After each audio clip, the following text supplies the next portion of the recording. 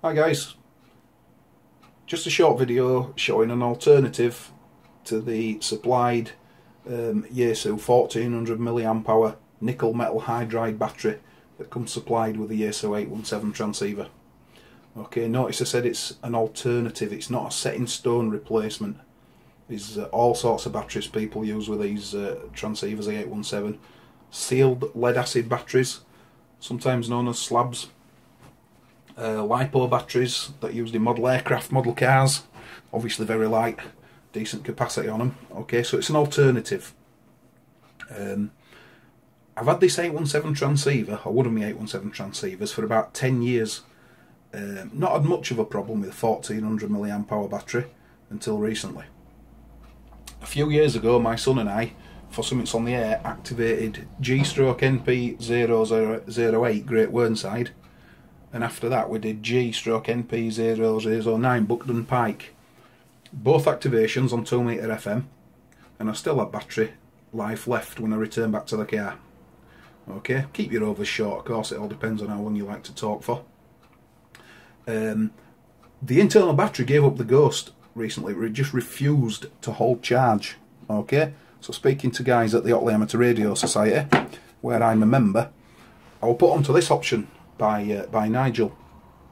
Okay, you can get um, a copy of the internal battery for the 817 that's 1500 milliamp hour on auction sites, reasonably cheap, but I'm not sure how good that is. Never used it.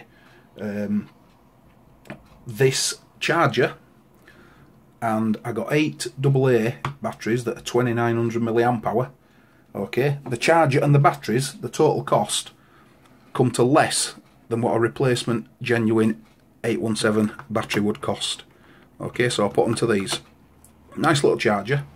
It takes 8 AA batteries. It will recharge the AAA batteries as well. Okay, so let's stick these on charge.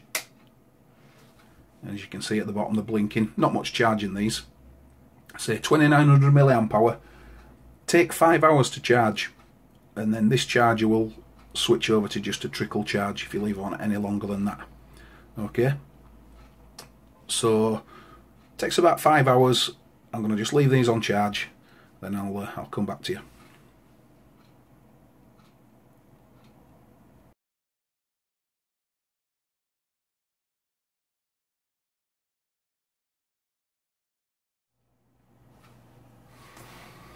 As you can see now these uh, 2900 milliamp hour these are nickel metal hydride batteries forgot to mention that in the first part of the video. As you can see now, all fully charged. Um, been out for a few hours, just left them on charge, fully charged. So you get a battery holder with the 817. I believe it's the FBA 28, holds 8 AA's. So I'm going to put these in the bottom of the 817 now.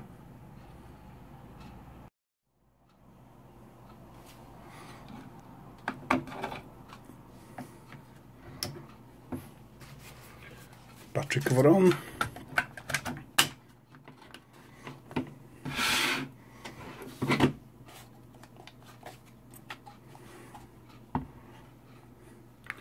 Turn the radio on. There we go, 10.9 volts.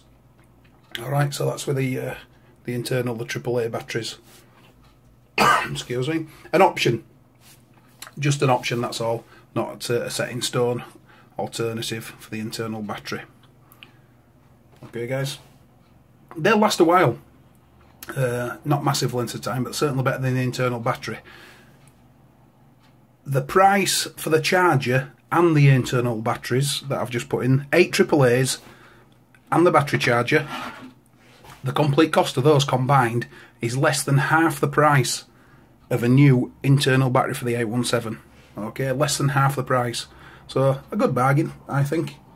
An alternative, perhaps worth uh, thinking of. Thanks for watching, chaps. See you on the next one.